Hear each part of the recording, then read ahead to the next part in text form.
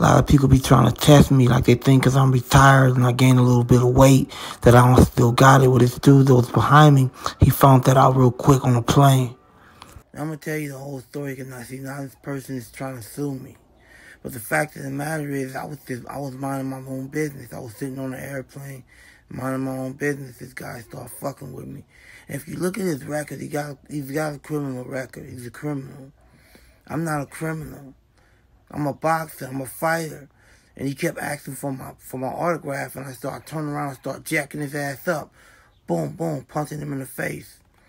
And that social media shit, man. Social media makes people comfortable. But you're not on social media, you're in person. That's how you get fucked. I fucked him up like I'm the baby. Boom. They start punching his ass and say, now you want to sue. You can sue this dick. That's what you can sue. I'm Mike Tyson, bitch.